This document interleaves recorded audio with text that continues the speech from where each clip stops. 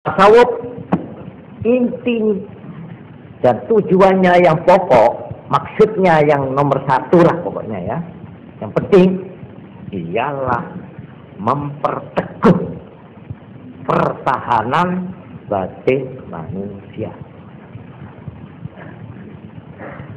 Karena itu saya katakan tadi, orang yang berada di tengah-tengahnya pasar, di tengah-tengahnya pemerintahan, di tengah-tengahnya kegiatan-kegiatan ekonomi, pembangunan yang di etambu gelombang itu ekonomi yang angin topan itu harus punya kebatinan yang kuat di dalam menghadapi arus dan gelombang.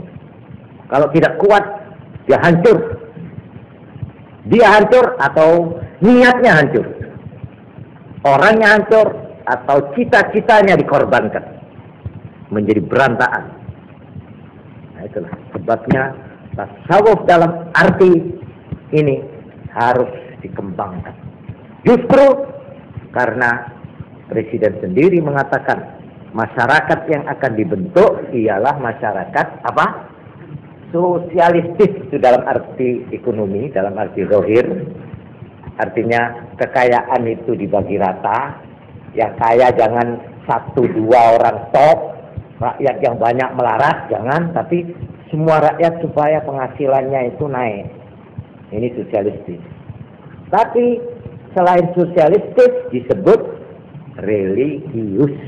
Religius itu artinya berjiwa agama tidak boleh bertentangan dengan ajaran agama. Mengejar dunia lupa akhirat tidak boleh. Itu tegas. Ini ucapan presiden.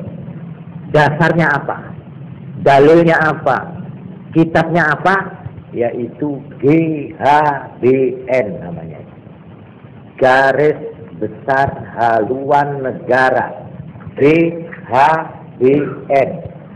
Ini GHBN mempunyai kekuatan hukum yang paling tinggi di Indonesia. Tidak boleh ditentang. Harus cocok sama GHBN. Garis Besar Haluan Negara. Ini dalil Presiden. Ya, nah,